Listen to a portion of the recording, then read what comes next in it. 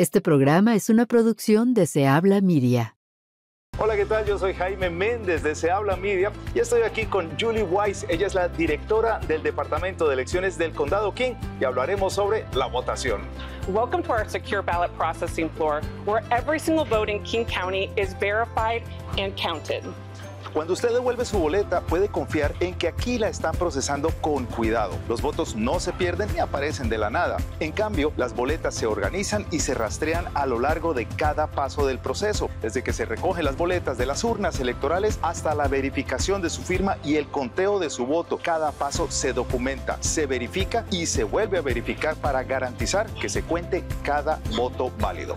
Know that your elections are run by experienced and trained professionals. We're here to count your vote. Y recuerde que puede votar en español y si necesita más información, visite el enlace en pantalla. Hola, buenos días, buenas tardes, buenas noches, bienvenidos y bienvenidas a un episodio más de Se Habla Podcast, que hoy, hoy es un día especial porque hoy les, les traemos un proyecto muy especial que hemos estado preparando para Se Habla Podcast. Mi nombre es Diana Oliveros y estoy con...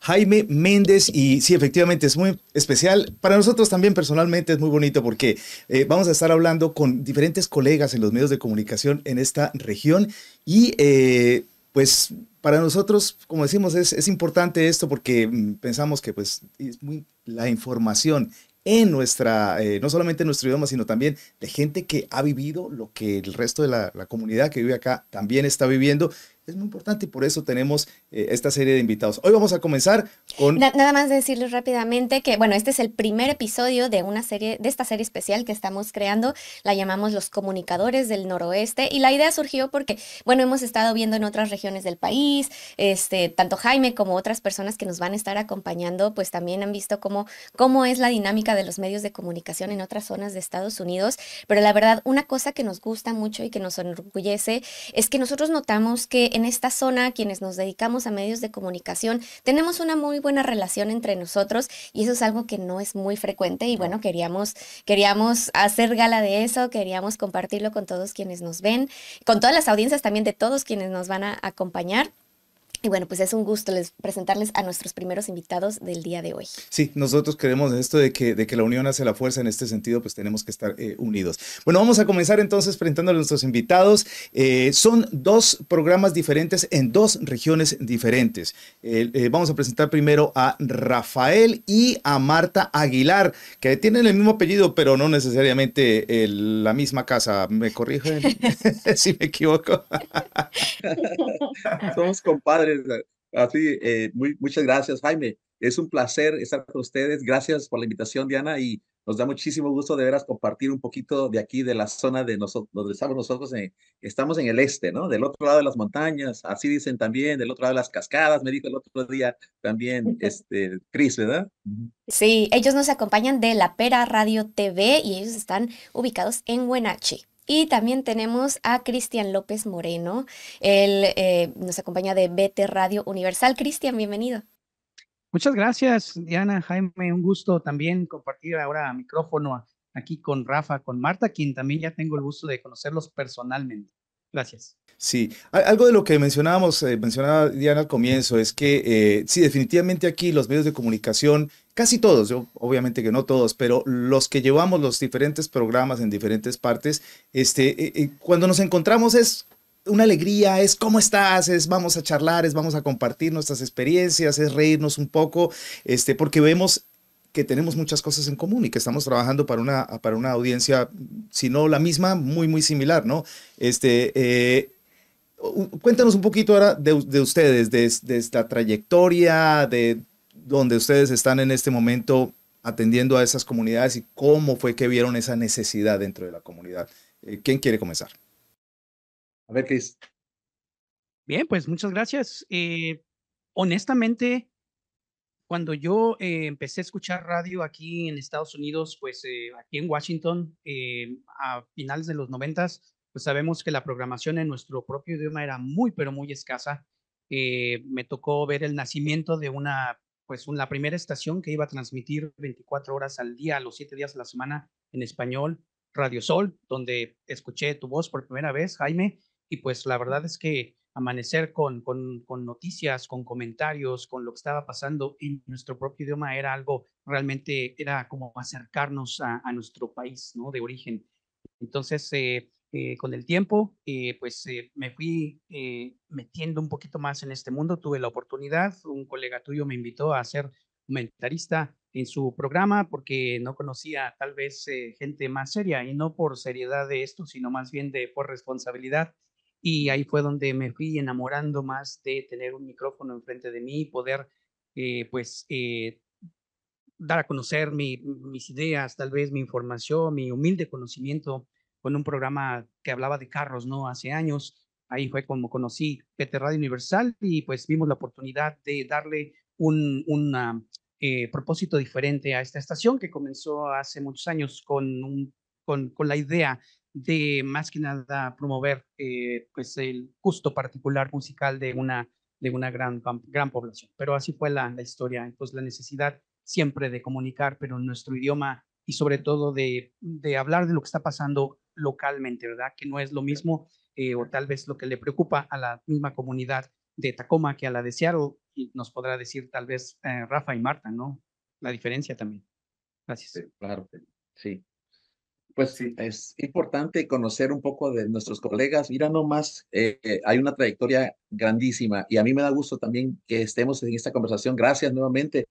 Eh, yo comencé en 1991 en Los Ángeles, California, con una oportunidad que se me, se me apareció de repente porque mi papá me decía, tú tienes que estar en una de estas estaciones de radio y ahí voy a buscar yo la, la oportunidad y entré como de aprendiz, intern, ¿verdad? Y ahí ayudándole a Humberto Luna a pegar los horóscopos en un papel y buscar las noticias de México, las de El Salvador, las de Centroamérica, y eso era lo que hacía, esa era, fue mi primera asignación. Después los cartuchos, muchachos, ¿se acuerdan de los cartuchos? A lo mejor ustedes. Claro que sí, alcancé a, alcancé a usar cartuchos, eran muy útiles los cartuchos, eran grandísimos como un ladrillo, pero eran muy útiles. Dice Marta, ¿qué es eso?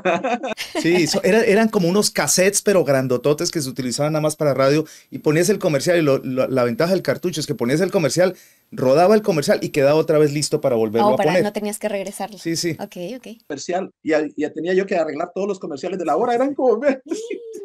Ese era mi trabajo. Ese, ya pasaron mucho tiempo de eso, ¿verdad? Pero ahí me enamoré yo también de la radio y me enamoré del departamento de noticias porque yo estaba en la, radio con el locutor en la mañana y luego me pasaba al departamento de noticias y allí aprendí también a grabar en los ríos, en los ríos, que se cortaba la cinta con una, con una navajita, luego los pegabas. Sí. Yo también pegué cinta, yo también pegué cinta por mí. ¿Y cómo, cómo? Si yo le digo a ella un cassette y me dice, ¿qué? ¿Un qué? Ay, no, sí conozco los cassettes, tampoco abuso. Bueno, perdón, un vinilo, ¿un qué? ¿Y cómo, cómo, fue, que, cómo fue que llegaron a establecerse Cristian y, Rafael? Bueno, tú, tú en Tacoma, Cristian, Rafa en Huenachi, que son comunidades que, que, como ya decíamos al principio, y ese es como que el centro de nuestro tema de hoy, ¿no? Ustedes no están necesariamente en Seattle, pero están donde hay muchas otras personas que hablan español, que necesitan información, que pues se ponen contentas cuando encuentran algo en español, como Cristian nos contó de, la primera vez que escuchó Radio Sol, ¿no? Porcentajes de población eh, eh, hispana más, más altos en Wenatchee y seguramente que partes de Tacoma también, que en muchas partes de Seattle. ¿Cómo, es eso de, de, poder transmitirle a esas comunidades? Sí, fíjate, voy a tomar aquí eh, el hilo, porque Marta vive en una ciudad donde 90% de la población en Quincy es, está a 30 minutos de Wenatchee 90% de la población es hispana. 95. 95, dice ella. Entonces, y... 90 porque ella se vino para, ahorita está en Buenache. Entonces, 50% de la población en nuestra región trabaja en agricultura.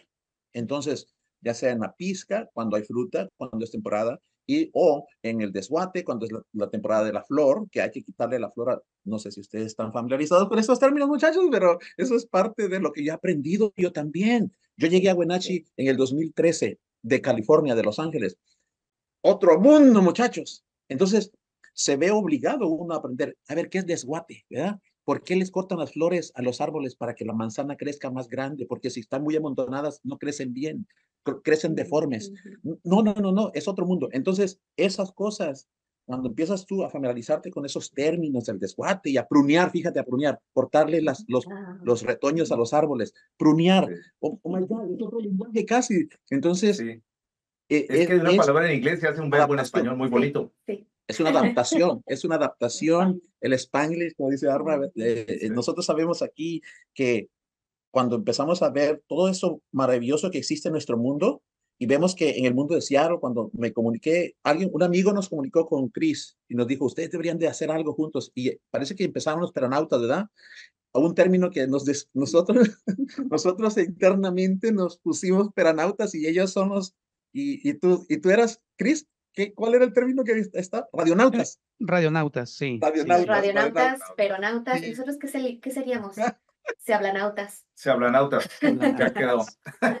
Listo. Así comenzó la plática y decidimos reunirnos un día y nos comimos unas salitas de pollo y ahí estuvimos platicando y llegaron otros colegas de otras radios también.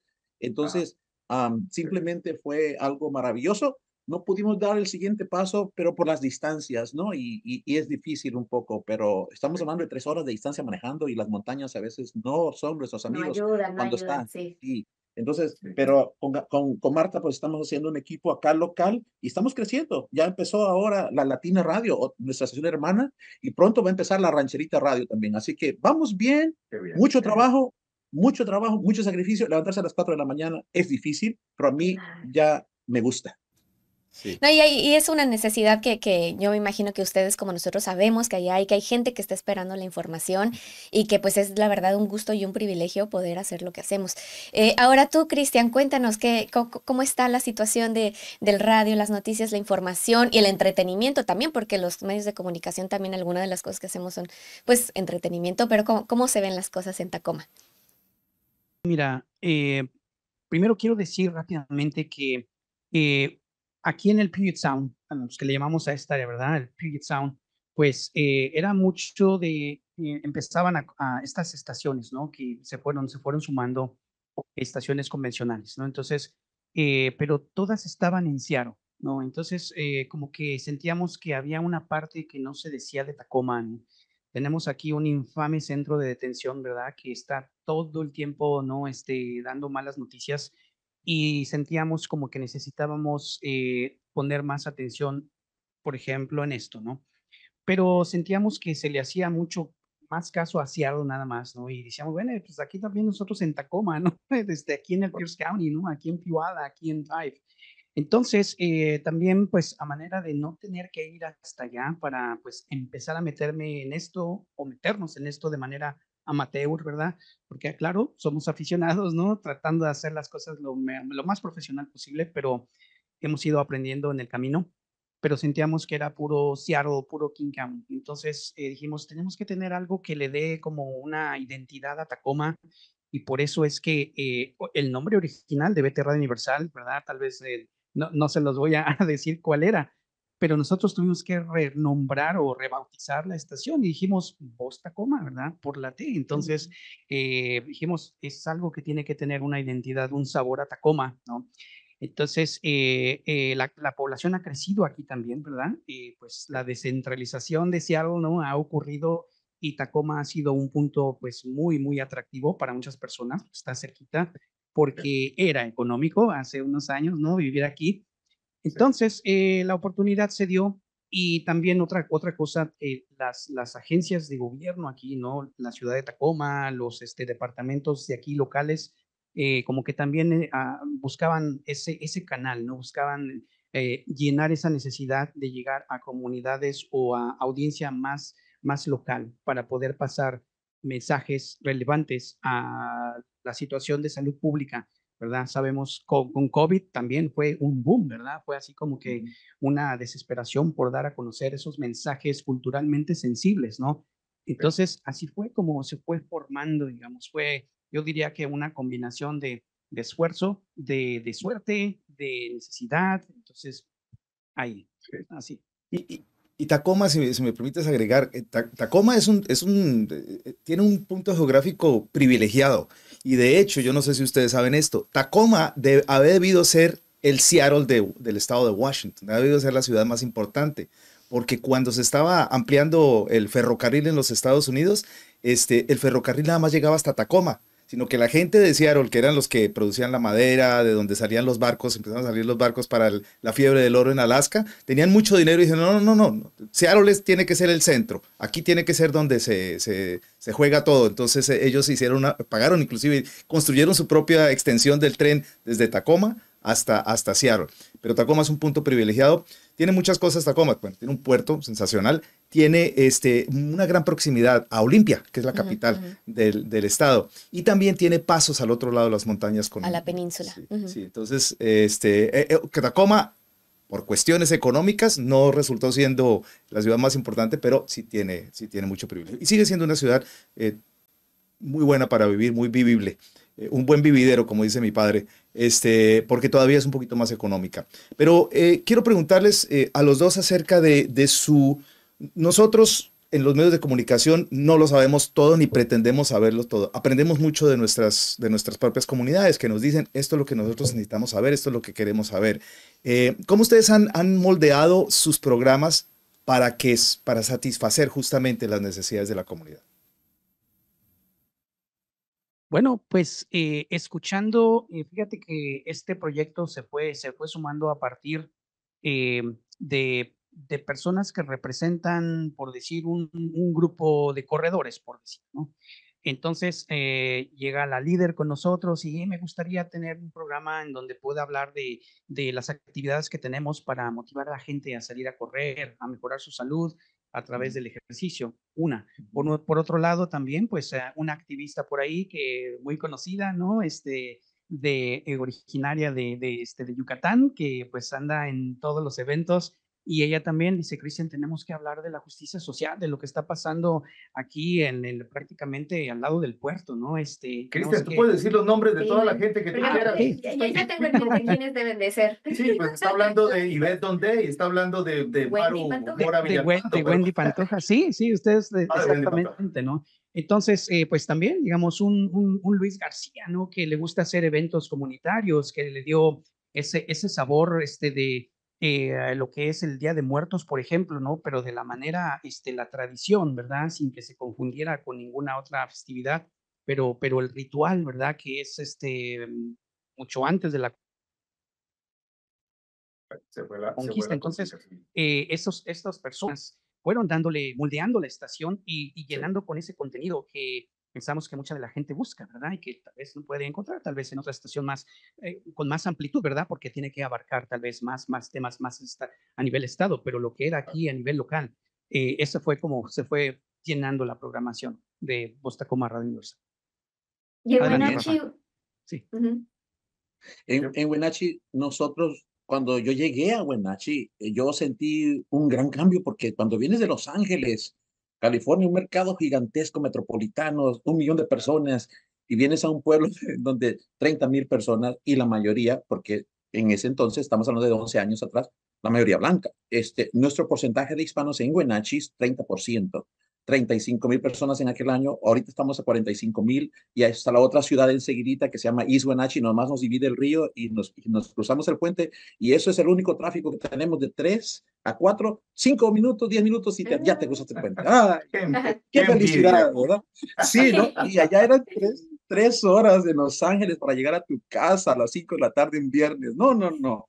Para mí, un paraíso, ¿verdad? Es más, cuando yo vine a conocer Wenatchee, me trajeron de vacaciones y me trajeron al río, me llevaban al lago Chelan, me llevaban a Leavenworth, la ciudad alemana. Entonces yo sentía que esto era como para, un, para mí un escape de, de, venir de la ciudad de Los Ángeles a vivir acá. Entonces, cuando empezó la radio fue casualidad, muchachos. Yo estaba en un garage con mi hermana platicando y yo le dije, sí, ahí tengo unos micrófonos que traigo una maleta de Los Ángeles que guardé porque allá estábamos haciendo unos pininitos allá en California con mi amigo Wilfredo que me hace las websites y dice, mi cuñado dice, ¿y por qué no los conecta? ¿Y para qué me dijo esto? ¿Y para qué me dijo Vamos a conectar los micrófonos y la consola y pusimos un monitor y empezamos a hablar, a jugar de radio. Y vimos que estamos enfrente de una huerta de cerezas. Abríamos la puerta del garage y lo que primero que mirábamos eran los árboles de cereza.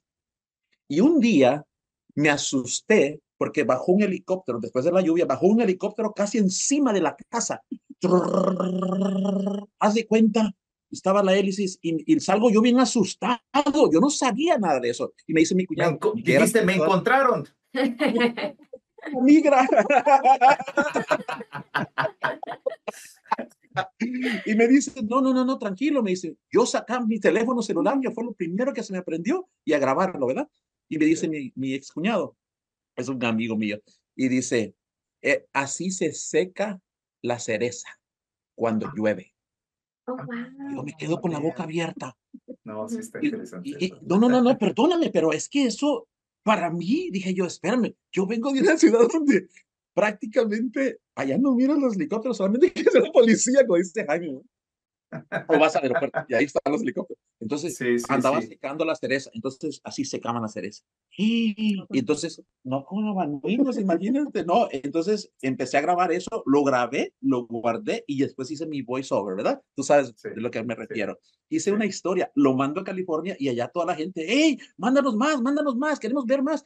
Vete, vete, me dijo un amigo, vete a cortar cerezas a ver qué se siente. Y ahí voy a cortar cerezas yo también, y ahí estoy con con mi cosita, no me sabía ni ponerme la de esa. Ahora yo ya sé que se llama Arnes, Arnes, ¿verdad?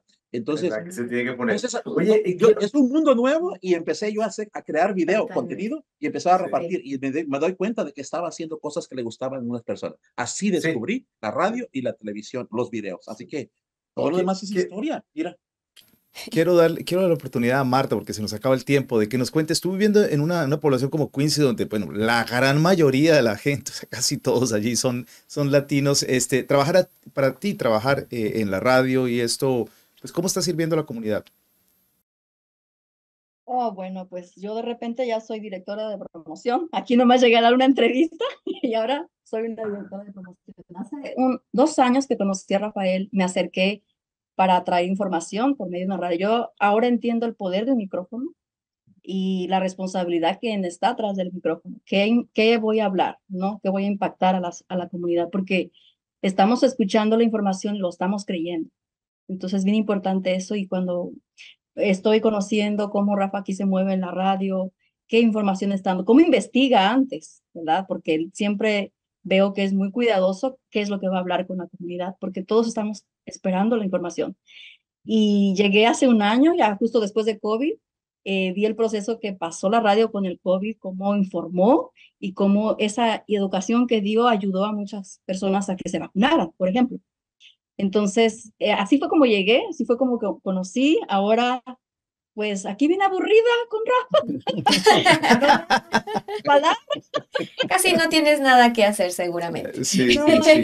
No, pero pero qué bien, la, verdad es que las experiencias que nos cuentan y lo que ustedes están diciendo es, es, tan importante y de verdad que nos da muchísima alegría que estén pasando estas cosas y ojalá que, que sigan ocurriendo en muchos otros eh, puntos, ¿no? Porque este, yo, yo siento que realmente sí hay algunas partes en las que está un poquito, no necesariamente olvidado, pero sí descuidada la información local. Y, y, yo creo que pues todos nosotros tenemos una responsabilidad pero también ojalá que otras personas eh, se sientan inspiradas tal vez en esta conversación o en sus comunidades o en, como decía Cristian, escuché una voz en la radio y le dije, esto me gusta lo que está pasando, y lo hagan también en sus comunidades porque nosotros tenemos una responsabilidad muy grande con todas nuestras comunidades, de informarlos de manera muy responsable también. Y, bueno, ahorita que Marta platicaba de algunos de los impactos que ustedes han visto como muy tangibles de que con la radio ayudaron a que la gente se, se vacunara, ya el último minutito para despedirnos y concluir, Cristian, algo de lo que te hayas sentido súper orgulloso que has logrado eh, impactar a, la comunidad a través de BTRO. Siempre hemos este, dicho, Diana, que aunque pudiéramos ayudarle o cambiarle la vida a una sola persona, a un solo radio escucha, ¿verdad? Pero eh, es, es, así como que nuestra, eh, eso nos hace sentir muy orgullosos, pero sobre todo las personas que participaron en la creación de este proyecto, yo creo que muchos de ellos pueden decir, realmente este proyecto transformó mi vida porque antes eh, era, mi, mi, rutina era del trabajo al sillón a morir, este, pues eh, allí, y no había algo que me motivara, que me, que me moviera tanto, ¿no? Entonces, el, eso ha sido para mí como, pues, eh, coordinador de este proyecto, el combustible que he necesitado para, para aguantar, como dice Rafa, las desveladas, las desmañanadas, ¿no? El, el hacer, el trabajar bajo presión, digo, vale la pena, ¿no? Y por, por el lado de los radioescuchas, pues también el, de vez en cuando en un evento, hoy yo los escucho, ¿De verdad? ¿Usted escucha este programa? Sí, me gusta. Ok, no, pues a, a seguir haciéndolo. Pues ojalá los, y, y, ojalá los escuchen mucho, mucho más. Eh, ha sido un, un, placer tenerlos en este primer episodio de Los Comunicadores del Noroeste. Eh, Qué felicidad tenerlos. Y de verdad, esperamos la gente que nos esté viendo, busquen a BT Radio Universal. ¿Por dónde transmiten rápidamente? Eh, www.btradiouniversal.com. Eh, estamos también en las redes sociales, en Facebook como BT Radio Universal, en eh, YouTube como BTRU. Eh, hacemos eh, publicaciones en Instagram también como Somos BTRU. Estamos por aquí, por ahí. Por todas partes. Y rápidamente. ¿Y en La Pera? La Pera Radio rápidamente. Radio.com también igual. Y nosotros solamente y queremos ser puente de información, que la persona encuentre la información que busca, donde la necesite, que sea que sepa que tenemos ciudades, tenemos condados, tenemos un estado maravilloso y que tenemos gente también que le apasiona informar, que crecemos juntos y que podemos lograr metas también con información. La información es conocimiento, el conocimiento es poder y tenemos el poder en nuestras Muchas manos gracias. y en nuestros micrófonos. Muchas gracias, Rafa. Con esta nos despedimos. Así es, un radio abrazo para todos y hasta la próxima. Gracias, Jaime. Gracias, Diana. Hasta la próxima. Gracias. Se habla podcast, extraído hoy por Servicios Inmobiliarios Davaso, propiedades en Yucatán y la Riviera Maya. Manda un WhatsApp al número en pantalla. Maritzas Beauty College Northwest, nueva sede en Everett a partir del 22 de septiembre. Comcast, comprometido con el avance de la equidad digital en Washington por más de 10 años.